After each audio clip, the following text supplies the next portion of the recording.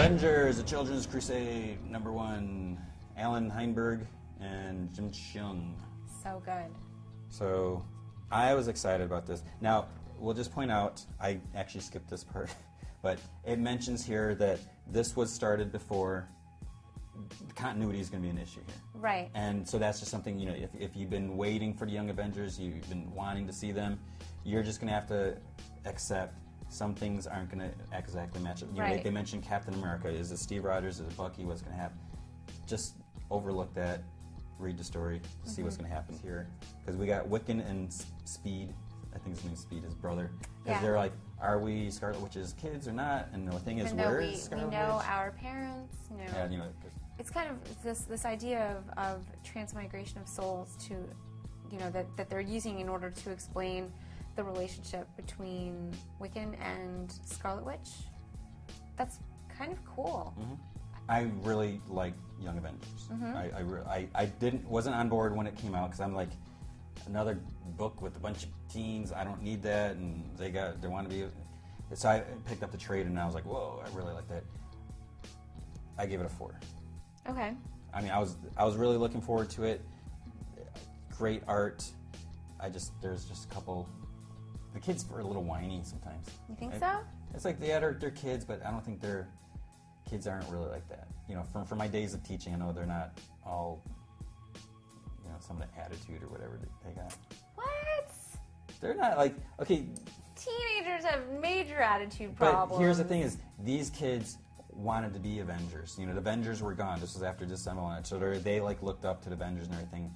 And then now they're just like, oh, you know, screw the Avengers. You know. That's not it at all. They just felt like they weren't being respected. oh yeah, your rating. Let me get into it. I gave it a five. Really. Yeah, I really liked it. Oh. The, the premise here, I can basically say is young Avengers are fighting. Mm-hmm. Wiccan does this crazy stuff with his power, Yeah. and the other Avengers like, oh crap, it's like the Scarlet Witch all over again.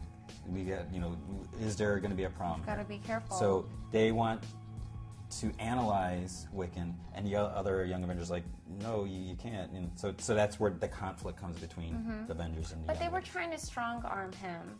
No, not in so many words. And Captain America doesn't strong arm people. He's like, hey, come on, we're gonna go here.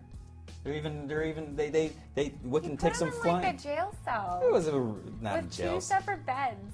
That Well, because they weren't condoning anything. But Captain America's like, let's go, and he's like, oh, you want to fly? So, okay, so he goes. Wiccan says, let's fly there. He makes Cap fly, and Cap's like, okay, great. And now, obviously, if, if it's not like they're handcuffing him, taking him, No, because no, no, because Wiccan could have just threw him in a tree and I was talking about the dialogue. I don't know. I wasn't talking about it physically. You're coming with me, Mister. Kids with their misunderstandings. Which no I'm adults, a kid, so adults know better. parents just don't understand. But then at the end, Oh which you can't mention anything, gosh, I but it's like finally, this is what I've been waiting for. Mm-hmm. And the whole thing is, you know, we, we said need to know what's going on with Scarlet Witch because last Yeah. time we saw her, she was in New Avengers when Clint returns from the dead and he finds her. She doesn't have any memory, and then they hook up, and then he wanted closure, but then he's like, okay, whatever. She doesn't know she is, and that was it. He doesn't tell anyone you know, so no one knows that he knows where she's at, and because they're all talking about you know, where is she, and they want to know. So it's going to be interesting to see if that's going to come out. Anyway, I'm I'm so excited, and then when we hit the end, it was just it was just awesome. It was cute to see Wiccan's relationship with Hulk, Hulkling. Hulkling. I felt too. that it, it didn't. But it did feel a little bit forced. Yeah, that, that's what I'm saying. It's like Yeah. they're they're a gay couple. Great, that's that's awesome. Yeah. You know, let's you know let's see that once in a while in comics. But it did, like you said, it felt like it was just too forced. Like some of the dialogue and. Uh, because I, I don't really remember that so much, like in, in their other appearances when you know they first hooked up or whatever. It And if they're it- gonna talk about them making out, then they should show them making Yeah, out. why not? It's like, and then they come in, whoa, well, you're making out. It's like, no, they're not making out. and They, it was they funny interrupted them. It was funny, like here's where it felt forced, is where Hulkling refers to their relationship as partners. We're partners. Like he couldn't just say, "Well, he's my boyfriend." Yeah.